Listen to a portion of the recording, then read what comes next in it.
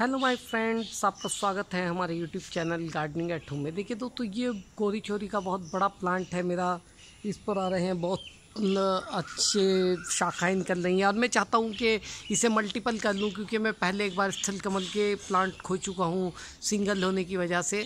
तो मैंने इस पर मल्टीपल करने के दो तरीके हैं, या तो कलम लगाएँ या फिर गुट्टी लगाएँ। तो मैंने गुट्टी लगाने का एक बहुत सरल तरीका ढूंढा है। जिसे कि गुट्टी बहुत ईजली लग जाती है। देखिए, यहाँ पर मैंने एक बोतल के इस्तेमाल से गुट्टी लगाई है, जो कि बहुत ही आसान तरीका है। जब ये जड़ें छोड़ देगी तो मैं इसे नीचे से कट करूँगा और ये बोतल सही तरह लगा जाएगा। ये ऐसा होगा जैसे कि किसी गमले में आपने प्लांट को लगा लिया हो तो ये काफ़ी आसान तरीका है। और आपको मैं विस्तार में बताता हूँ कि इस तरीके को इस्तेमाल कैसे करते हैं। चलिए। तो हम आ जाते हैं यहाँ पर। ये है मेरे पास पर्पल गुडल और इस पर मैं लगाऊँगा यहाँ पर गुट्टी। अगर मैं बोटल को डालूँगा तो मुझे ऊपर से सारे पत्ते काटने होंगे तो इसलिए बोटल के अंदर मैं थोड़ा मॉडिफिकेशन करूँगा, वो आपको मैं दिखाता हूँ कि किस तरीके से। तो दोस्तों देखिए, आपको बोतल को थोड़ा मॉडिफाई करना होगा और वो इस तरीके से करना होगा कि आपको एक बोतल लेनी होगी और उसे ऊपर से कट कर दीजिए और उसे साइड से, एक साइड से कट कर दीजिए और इसमें नीचे की तरफ़ फोल्ड कर दीजिए। इससे होगा क्या कि हम इसकी कवरिंग कर देंगे इस तरीके से।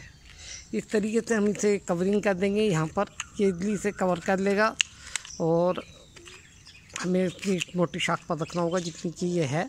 ये हो गया कवर और इसे हम यहाँ पर गुट्टी के लिए तैयार करके इसमें पॉटिंग सॉइल या मिट्टी और गोबर का कॉम्बिनेशन या सिंपल सॉयल वो सब भर देंगे, जिससे कि ये इडली जड़े छोड़ देगा। जब जड़े आ जाएँगी तो हम इसे निकाल लेंगे। तो सबसे पहले इसे गुट्टी के लिए तैयार करते हैं, यानी एयर लेयरिंग के लिए। एयर लेयरिंग के लिए तैयार करने के लिए आपको सेंटर वाले जो सेल होते हैं उन तक पहुँचना होता है। इसे आप कट कीजिए इस तरीके से।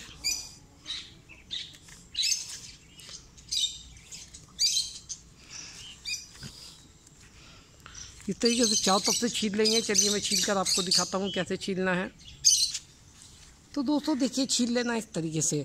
यहाँ पर सेल्स की दो लेयर होती है, एक अंदर वाली और एक बाहर वाली। जो बाहर वाली लेयर होती है, वो काम करती है जड़ें विकसित करने का, और जो अंदर वाली लेयर होती है, वो काम करती है फ़ूड को पौधे तक ले जाने का।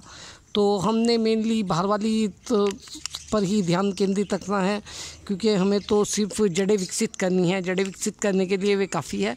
उसके बाद हम इसे लगा देंगे यहाँ पर इस तरीके से। ये हमने लगा दिया और इसके बाद हम इस पर करेंगे सेलो टेप का इस्तेमाल, ताकि ये सॉइल डालने से खुले नहीं। तो चलिए इस पर लगा देते हैं सेलो टेप सेलो टेप से ये मज़बूत हो जाएगा और सॉइल डालने पर ये खुलेगा नहीं।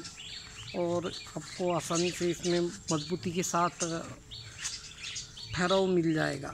ये सेलो टेप लीजिए और इसे आप इस पर अच्छे से लगा दीजिए इस तरीके से।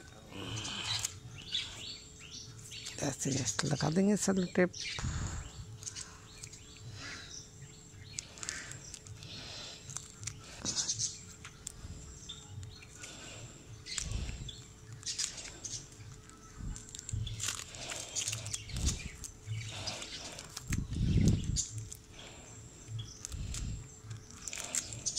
ठीक। ये देखिए, ये सेलो टेप से हमने इसे फिट कर दिया है। और हमें इसे रखना है यहाँ पर। यहाँ पर हम इसे रोक लेते हैं। और अब इसमें भर देंगे हम पॉटिंग सॉइल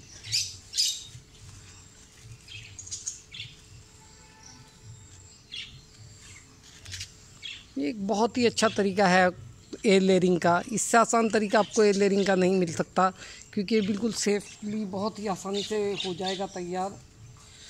ना तो इसमें पॉलीथीन का इस्तेमाल करना है, ना कुछ, और ये आराम से गमले की तरह अलग हो जाएगा जैसे गमले होते हैं। इस तरीके से आप इसे अलग कर सकेंगे, जब जड़ें निकल आएँगी।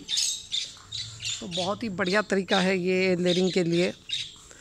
इसे अच्छे से फिल कर देंगे, और बहुत अच्छे से फिल करने के बाद आप छोड़िएगा, क्योंकि इसमें जड़ें निकलनी हैं तो काफ़ी अच्छी जगह इसे मिलनी चाहिए जड़ें निकलने के लिए।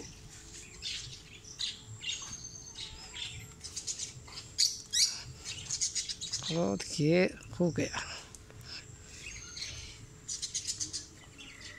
देखिए, ये हो गया बिल्कुल तैयार।